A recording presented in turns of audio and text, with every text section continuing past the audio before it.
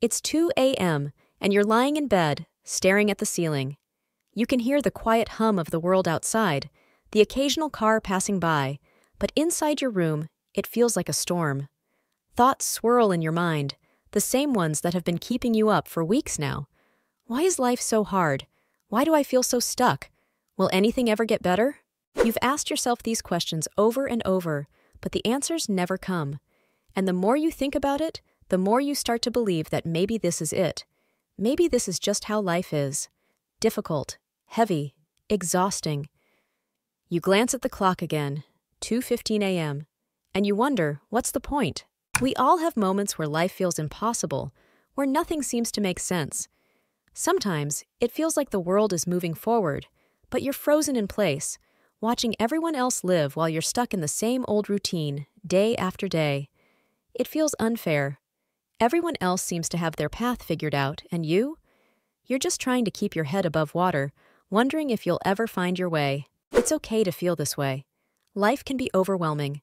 But here's something you need to hear this moment of darkness doesn't define your life. Imagine a seed planted deep in the ground.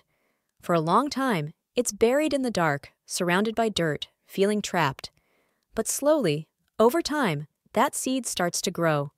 It pushes through the soil, breaking through the barriers until one day it finally reaches the surface. That seed becomes a tree, tall and strong. But the tree didn't grow in a day. It took time. It took patience. It took struggle. Your life is like that seed. Right now, it might feel like you're buried, surrounded by the weight of everything that's going wrong. But the struggles you're facing? They're helping you grow, even when you can't see it. Growth happens in the dark, in the difficult moments, in the times when you feel like giving up. We often think that life will get better with one big change a new job, a move to a new city, meeting the right person. But real change doesn't happen all at once. It happens in the small steps, the little choices you make each day, like the decision to get out of bed, even when it feels like there's no reason to, the choice to go for a walk, to talk to a friend, to pick up a book, to listen to your favorite song. These small moments may not seem like much, but they add up. They create momentum. And before you know it, those small steps can lead to big changes. Right now, you might feel like you're in the middle of a chapter that's too hard to keep reading. The plot isn't going the way you hoped, and the obstacles seem too big to overcome. But here's the thing your story isn't over. Every great story has moments of struggle, moments where it feels like the hero will never win. But those moments are what make the victory so much sweeter in the end. The challenges you're facing today are shaping the person you're going to become. And even though it feels impossible, even though it feels like you're lost, you are still moving forward.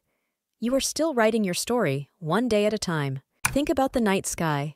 It can feel endless, especially in those long hours before dawn. But no matter how dark the night gets, the sun always rises. Always. And that's true for your life too. You might be in the darkest part of your journey right now, but the sunrise is coming. It's not a question of if things will get better, it's a question of when. The universe works in cycles seasons of growth, seasons of struggle, seasons of rest. This season you're in now? It's temporary. The heaviness, the confusion, the frustration, it won't last forever. In moments of darkness, it's easy to feel like you're the only one struggling, like you're the only one who hasn't figured out how to make life work. But I want you to know something. You are not alone.